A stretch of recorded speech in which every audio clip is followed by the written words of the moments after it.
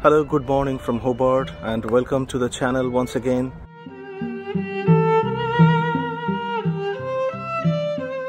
It's a beautiful day, beautiful morning in Hobart.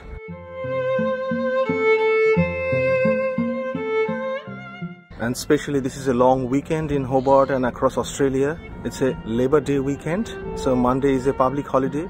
And for that reason, an Australian Navy warship called HMAS Hobart is going to arrive very soon in Hobart Port.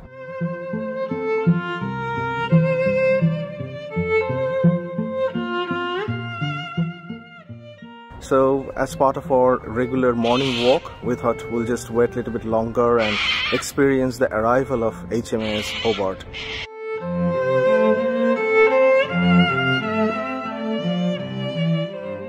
So it will be sailing in my background very soon.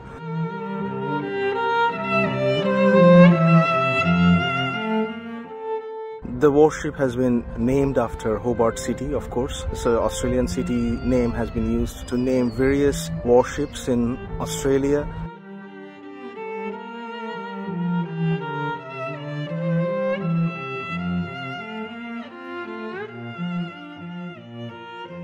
It was launched in 2017 and it's a full range, full scale warship uh, it has got guns, torpedoes and most importantly a lot of missiles it can launch.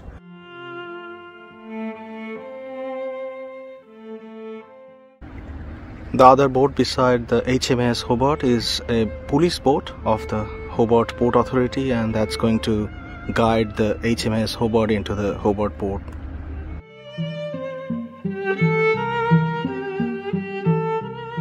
There will be two police boats piloting HMAS Hobart into Hobart Port.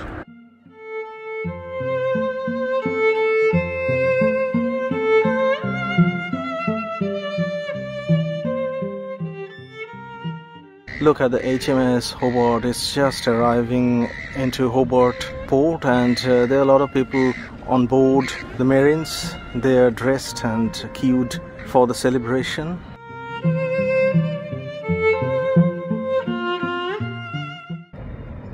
It's a beautiful ship and obviously it's a destroyer and it has got a lot of capabilities. It has got guns torpedoes and especially it can launch various kind of missiles.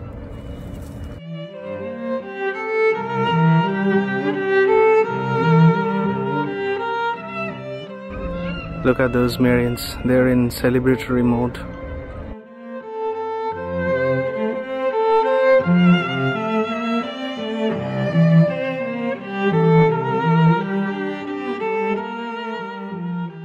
So it was a fascinating sight and uh, it's HMAS Hobart is arriving in Hobart port and tomorrow there will be a freedom march. So they're bringing almost 200 marines and they'll be marching in Hobart. They'll be given a key to the Hobart city and we'll be capturing that as well. Hopefully it will be a fascinating video